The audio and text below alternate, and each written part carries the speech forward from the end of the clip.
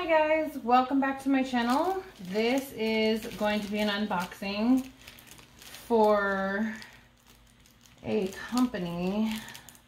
They contacted me a few days ago and asked me if I wanted to test out their product on my channel. And of course I asked, you know, what, what they were expecting and they just said that they wanted me to test it out to see um, what my thoughts were on it um, and to do a product review. So I'm gonna go ahead and open the package.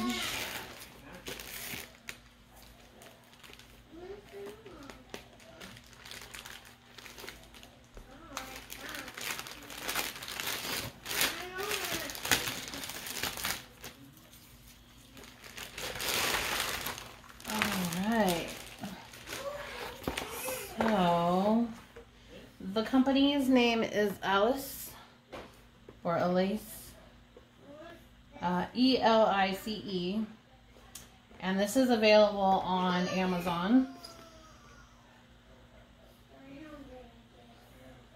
Okay, and then we're gonna go ahead and get into this box.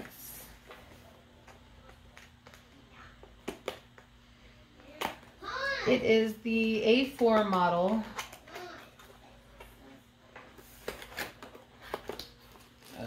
Okay. Contents are hopping out at me. So let's, I don't want to drop anything on the floor because I have my table tilted at a high, a high, I should have probably put it down a little bit lower, but that's okay. Okay. There's nothing left in the box. Okay, so it comes with a cloth to wipe it down with to keep it clean. Comes with a unsharpened pencil. It comes with the cord, the power cord. It comes with an eraser and also a pencil sharpener and two clear clips. Now, most people use these light pads for drawing, tracing, and stuff like that. So, um, it came with um, sheets of paper for artists who, or um, anyone who wanted to trace artworks. And it comes with a few pictures. It comes with a dolphin and a puppy.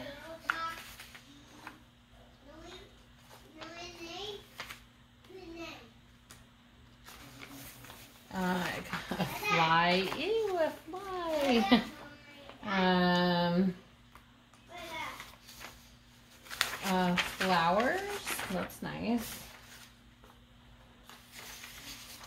Um, looks like wheat or corn. No, I think it's wheat. Wheat. Ooh, owls.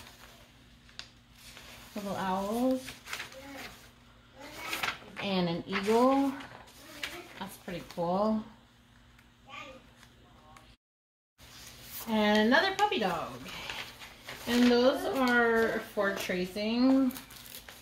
And then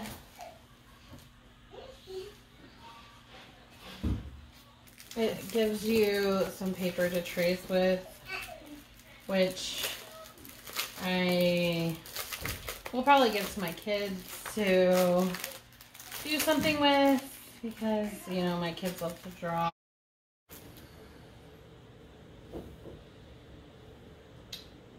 So, as a diamond painter, I will not be utilizing anything for tracing because that's not what I would use it for. So, inside here it has, um, thank you for your purchase. To celebrate the 50th anniversary of our company, please contact our support team to get the gift below for free. Quantities are limited. Um, and then you email their support, and it's for, it looks like a drawing board with a pen. Only one gift can be claimed per user. So that is something that um, when you guys purchase that you'll be able to take advantage of. I'm not going to, um, I'm not going to do that. Uh, just because I'm testing out the product. So, what is this thing? Uh, it's just letting you know that it uh, passed uh, quality specs. Um, and then we've got the light pad. And the light pad has measurements on it. Um, you know, if you were trying to measure stuff, that's pretty cool. Um, let's turn it this way, probably easier. So that's pretty cool. Um, so it doesn't come with the power cord. Um, so you would have to use like your cell phone cord um, hookup or you know whatever. Uh, let's see. One thing I want to say about the. Mm, okay. One thing I want to say about the port on the light pad is that um, it can be, I don't know if you can see it, but it can be really sensitive. So you have to make sure that you plug it in correctly. Um, you don't want to do like a, you don't want to force it in. It's a really sensitive. Like I said, a really sensitive port. Okay. Um, and honestly, I would not remove this. If I put it in, I would probably store it with it like that and in a safe place so that I could keep it plugged in on this end because I've heard so many people, you know, taking them in and out and then they bend or what have you and you don't want to bend them. Trust me. You don't want to you don't want to lose any integrity for these cords. So if it's possible, um, I try to um, keep it plugged in and just put it away as a whole piece because um, I haven't had any light pads that have stopped working, but that's because I've heard enough enough horror stories to know that you don't want to remove the cord in and out. So on my original light pad, I do not remove the cord. So this has three settings. You press the button once for the first level, second time for the second level brightness, third time for the third. I mean, it's pretty bright, you guys. I don't think I, um, I don't think I would ever use the brightest. I think that, um, the brightest levels are pretty good though. Um, so this is level one on the light pad. And I can see the symbols pretty good.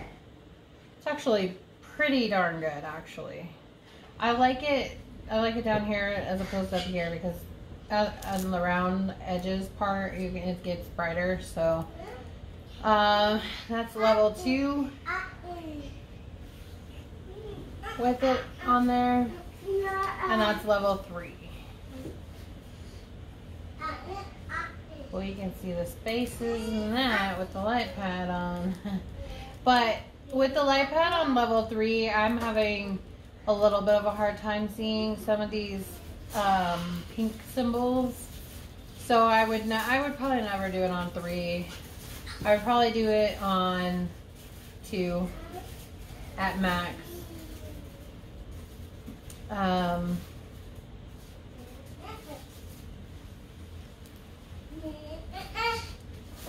but it definitely helps, especially if you're working on the painting. Like I like to turn it upward too, away from the button because the button is, you can hit the button through the, the diamond painting. So I try not to do that, but I try to, so I try to stand it up like that. And it helps, it helps to be able to see some of these that are in between. See, like right here where it's super bright on the edges, like I have a hard time seeing those. So I would have to, um, I would have to turn down the brightness to like one up there if I was working on something that was up that high. Because you don't need it to be like, you just need it to be a little luminant. For me, I have glaucoma, so I don't like things that are too bright. I try to, like I said, keep it pretty, like, safe. And that's pretty safe for me. You know, all in all, I would say I would uh, I would give this a five. I don't see anything wrong with it. I don't see that it's too dim or, you know, I I think it's fine. It's like the same thing as my as the light pad that I bought um, from Joann's, and um, I mean, all in all, I would say it's a five out of five. Um, especially if you um, draw because you get the little bonus tracing paper and stuff. Um, I would definitely use it. Um, I don't know that I would want to use it for this painting. The woven material that Dreamer Design uses. The woven material that Dreamer Design uses I feel like it makes it really blurry. Um, I mean, I could honestly, I could probably read these symbols in the dark. They're so clear and crisp um, for me from DAC. Uh, but, um, yeah, I don't, I don't see like, I could probably even put that on like the dimmest if I needed to. Because I wouldn't really need it for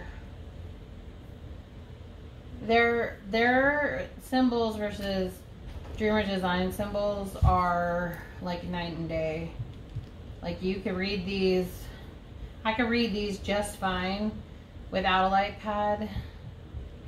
Um, they're not they are not blurry in any way, so it, I mean, it, to me, you, I wouldn't even need a light pad for these, honestly, so, because they're really, really muted.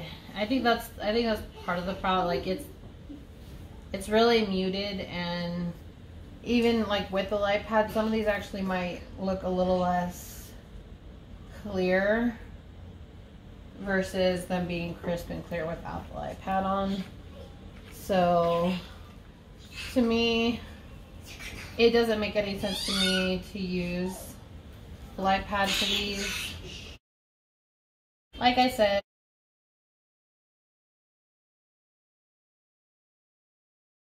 I don't see anything wrong with it. It compares just the same as the light pad I purchased. Okay, so I decided I was going to uh, do a side-by-side -side comparison for the Diamond Dotz uh, because that's the one I purchased on my own. This is the one I got um, to try. So I just wanted to do a comparison. Um, I'm going to hit just one time. And for me, it looks the same. Same exact. Brighter. But to me, sitting here with my eyes, they look the same. So I'm just going to do a comparison just for that sake. This is level two. And you can't compare it to this line right here because these this line is the part that doesn't have the dots around it.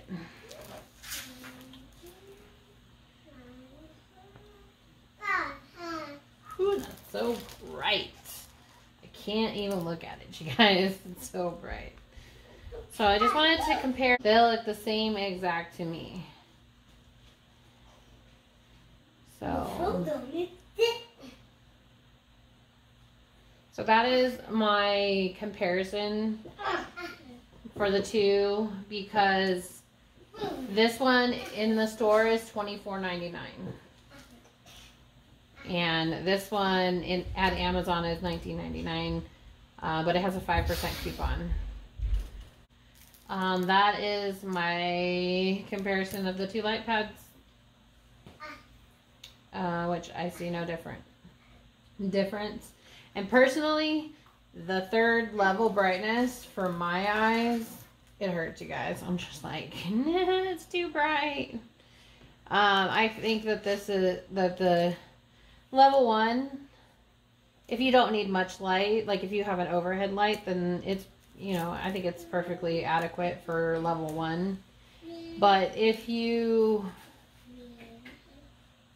you know, have like blurry symbols, symbol, symbols, symbols, then um, you could try different levels to see what works good for that. Um, like I said earlier, like like I said, um, the pinks they get really this pink with the white is getting lost in the light. Um, so it's a little too too bright for that. So I think like it's definitely way too bright for the, the for the lightest level. And just I I also worry about eye fatigue because I have glaucoma, so I don't want to strain my eyes. So I will probably keep this on a level 1 or a level 2. So it just depends upon your guys' eyes.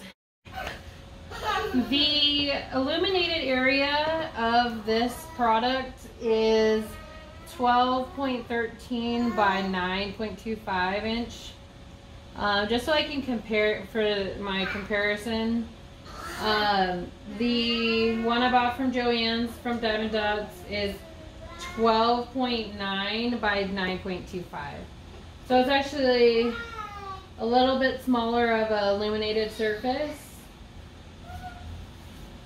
um, than this one. And I mean, it's really thin and lightweight, so, um, so it's not very heavy at all. And honestly, with the slanted table, you might want to Velcro it on. You could just get some command strips or something and put it on the back and Velcro it on. Just to make sure it doesn't fall because you do not want to drop these things. They will short out and break. Bye guys, thanks for watching. Don't forget to like, comment, and subscribe for more diamond painting content.